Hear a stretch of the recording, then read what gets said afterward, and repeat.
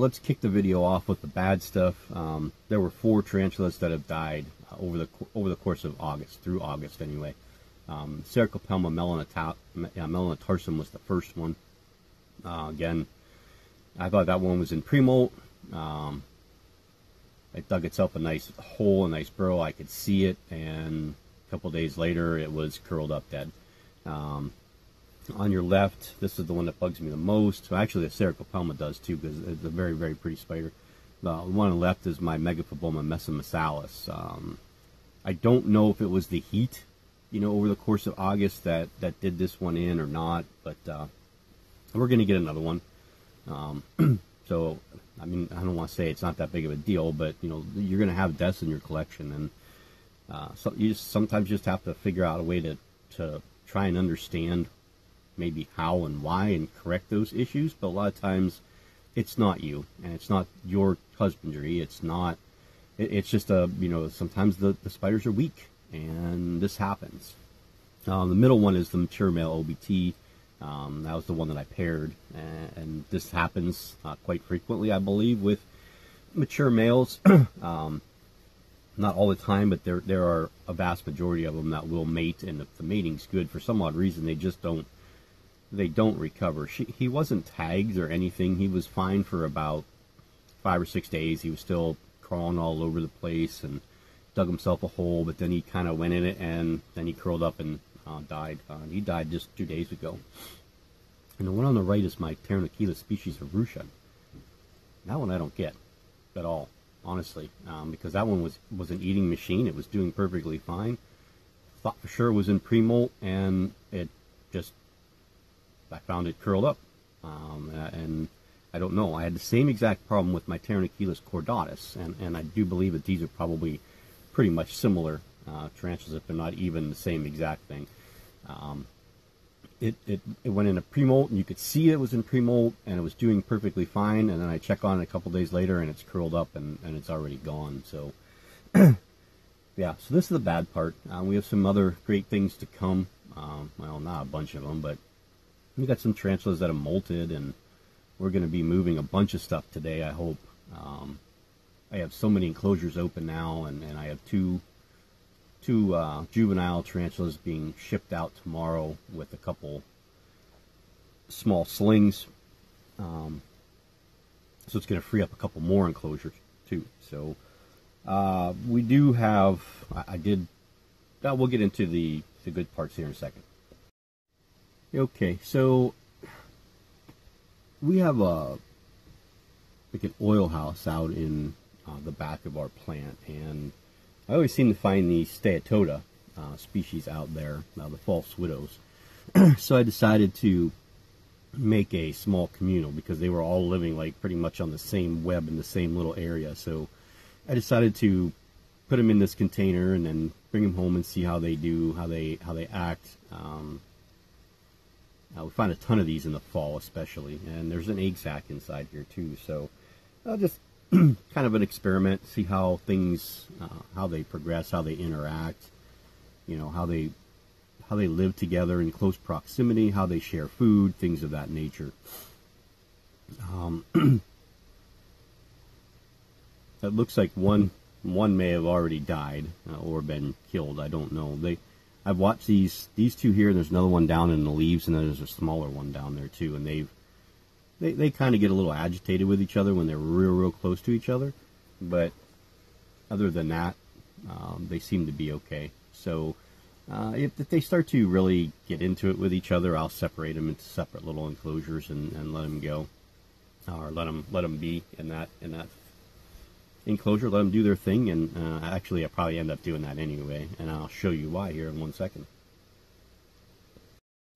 So I, I just got in a whole bunch of these 50 dram vials. I love these things. Uh, we're going to be moving a lot of spiders into these because it, even though if they're smaller, it gives them much more room. It's a little bit easier for me to work with than, you know, having one in this. And, you know, these are the two, well, this is one of the two uh, Cyriopagopus species Hati Hati that are in here. Um, so if I fill this up halfway with uh, with dirt, it gives them more room to do what they need to do. Uh, I, I, and I don't have to worry about just hurry up, flip the top off, throw some food in there, and hope that they don't take off on me. They'll be more secure in something like this. So there'll be quite a few um, moving into this. Um, uh, the yeah, that that's it. You know, my Poecilotheria metallica will move into one of these. Um, maybe the Dolichothele diamantinensis. I don't know. I think I might put that one into a baseball enclosure. uh, try to think of what I have up there. Oh, my Aimira will move into one of these, and, and there's a couple other ones up there that definitely are going to move into into these enclosures. And then I'm going to have a bunch of these left over. Um, Amy had ordered ordered these. We were going to go halves on an order, and uh, she ordered a hundred, and I was like, well, I could use like three dozen of them, and I have them laying around. They're good for shipping. You know, you can. I'll ship the juveniles, one of the juveniles, in one of these. Um, and I said they're always good to have around. You know, just in case. I have this one as a catch cup. You know, it's got the holes in it. You guys have seen this a million times. I'll probably make another one of these. um, but she ordered 100 and she got she got 80 of them free. So uh, that was pretty cool. The company that sent them. So yeah, so I have I think she got 35 of them that fit into a box. So yeah, so we're gonna be moving some stuff into these. We're gonna be moving some stuff into the baseball cube, out of baseball cubes into softball cubes, out of softball cubes into the 124th scale diecast stuff. So um, be looking forward to that. Uh, there's I'm gonna try and get it done today because I have off work today because it's Labor Day. So uh, yeah, so let's let's look at a few spiders that have molted recently. Okay, so here is one of the ones that have recently molted. Um, matter of fact, it's really the only one that's out of the ones that just molted. This is the Acanthoscurria geniculata. This is ash. I'm not quite sure what we have because the molt was a little bit mangled uh, in that area. Not from her molting or him molting because I, I, was able to get the molt out pretty quickly, but just um, trying to pin it down, um, stretching it kind of popped that spot where you really, really need to see, and I really couldn't tell. So I didn't really want to call it male or female or even sus suspect anything because there wasn't enough there for me to see. Uh, this one's probably ready to eat, I would imagine. Um, this one would most likely probably take food. So let's see if I can't possibly get it, him or her, to uh, possibly take a worm here. Oh yeah.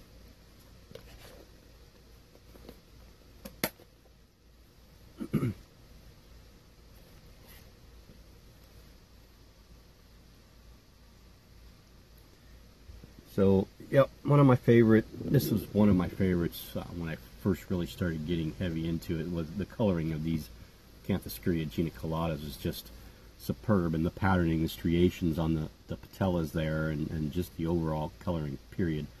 I had to. I gave one to my brother, so um, I, I, do believe between the two of us, we actually probably both have females. I think they're both females, but I don't really want to to call that so that's one. Let's, well, you can watch her eat or him eat while we go over the other ones, really. The Ceratogyrus meridionalis molted. The molt is still in there. I'm going to shag that out of there and, and uh, try and sex that one possibly. Um, the Eupalaestrus campestratus female molted again, which is kind of surprising because it hasn't been that long since she molted the last time. Matter of fact, I think I only fed her twice. Uh, it's only been a couple months since she molted. I was actually really, really shocked. Um, I kind of, no, I wasn't really shocked that she molted that quickly. Um, well, yeah, I was that quickly. It was. I mean, I kind of knew because she did start to darken, and um, she didn't want to eat the last time I fed her, and that's not like her at all. So, so she molted. Um, well, I know there's others that molted, and I just the top of my head, I'm not remembering now. Well, if I think about it, we'll, we'll update it in the rest of the video. Um, we did pair the Nhandu coloratovillosus one, excuse me, one time. I'm going to try them again in a few days, um, just to be sure. Because um, I tried pairing them like three times prior to that, and they didn't want to have anything to do with each other. Uh, no aggression, no nothing, no tapping. He just sat there. She just stayed in her burrow. And after about an hour, I took him out, put him back in his home, put him back. A couple days later, did that three times, and then finally, um, I was actually talking to the owner of the male when I put him back in there because she's like, why don't we just put them together and leave them together for a couple days and see what happens? So I was chatting with her on Messenger and uh, I had put him in and I turned around and looked and they were already pairing. So that's that's good. Um, it looked successful. I mean, he really he started to clean his pedipalps right away. Um, she went in her burrow afterwards, so I don't know if she she did a an epigastric rub or anything. Um, we'll find out when I try putting him in there again. If she shows aggression, then then we'll know. I just don't want her to eat him because I know that Allie from Allie's Tarantulas wants to borrow him and mate with his female. So I got to figure out from Kelly what she wants to do. Um, but I would like to try at least pair them one more time just to be sure. Uh, I got to feed the little guys today. One Lasiodora difficilis and a handful of Lasiodora paraibanus um, that we still have. Well, there's more than a handful. There's 10, 11 paraibanus. Two of them are going out, so we'll be down to nine.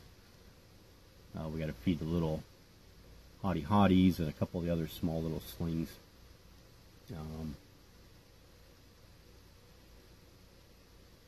hmm. I think that's it for tarantulas that have molted. Now, I haven't done a check in a couple days, so there may be a few more. So if there are, we'll update them later. Uh, my favorite one, though, is the Meridionalis. This little one is, is just going crazy.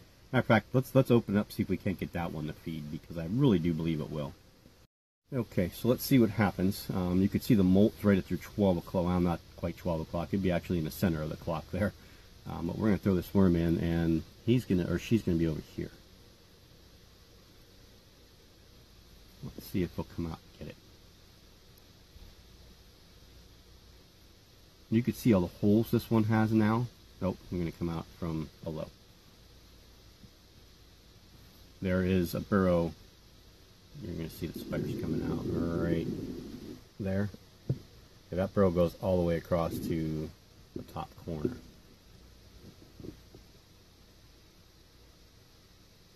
I want you digging there. There we go. Quick and easy takedown. While we're doing that, we'll get the molt out. Hopefully we might be able to sex that we'll give this guy a second because he likes to come back out with his food and do a little bit of work up top. But um, I wanted to rehouse this one, but I don't think it grew enough that it's necessary. So we're going to wait one more molt before we get into a 124 scale die cast enclosure. Um, because the, really, they, the die cast enclosures are really only about two times as long as this, but these seem to be just a little bit wider. I, maybe not, I don't know. It, seems that way. No, they're not because I got a softball enclosure sitting right on top of a 124 scale. I think I could put two of these on top of, of a 124 scale, but there's no no need to move him right now or her right now in this enclosure. It's just not not big enough to do that. There are a couple I'm going to move that are smaller, um, only because I want them to be in an enclosure that they're probably going to be in for quite a while, and that would be the Harpactera Harpactira pulchripes. Oh, that one molted. Um, I do believe that one to be male. Um, I don't remember if I updated that one for you guys or not. Um, yeah, so we're not coming out are We We have a handful that are closing in on molts. The Nhandu carapoensis, uh, Grammostola pulchripes, the Stichoplastoris species Nicaragua or the Corn Island, um, the Psalmopoeas cambridgei is also uh, closing in on a molt and I think Declan, the male um, Brachypelma albopilosum, is also closing in on a molt. So uh, looks like a couple of those small uh, Tityus uh, stigmurus also um, are closing in on molts. The uh, scorpions, little scorpions that I got from um, Jay from Bluegrass Inverts. Uh, I know he was supposed to do a video this weekend. I hope he did it because he he's got some updates to do, and I was looking forward to some of the stuff that he was going to talk about. And um, this one's not going to come out this time. I thought for sure it would. It always does. So we'll try and feed um, somebody else. Um, oh, I know who else molted. Hold on. Okay, you can barely, barely, barely see in that hole there, but this is the uh, Sericopelma rubronitans. This is the first one that I got from Ruth. Um, this was a gift from, jeez, was it the Buffalo Show last year? Not this past one uh, in the spring, but the one, you know, last year in the in the spring. Um, she gave me this little one out of one of her pairings, and I do believe this one to be male. The the molt had nothing in it that would even remotely present female to me. But you know, I am only looking at it on a 15, 15 times um, magnification, so there could be something there that I'm not seeing with with higher magnification. But uh, I didn't see male accessory organs or anything like that either, so it's still a possibility. But it's highly, I, I'm pretty sure we have a male here, and this one looks uh, almost like exactly like a Brachypelma vagans. Um, I mean, to a T. Well, that's another one that's going to be molting soon, my female Brachypelma vagans. She hasn't, nope, she hasn't yet. She's closing in on that too, so I imagine that's going to be sometime soon. We're going to spray her, uh, half of her enclosure down and give her some water and see if that'll prompt her to to get through or start to get into her molt um, a little bit sooner than later.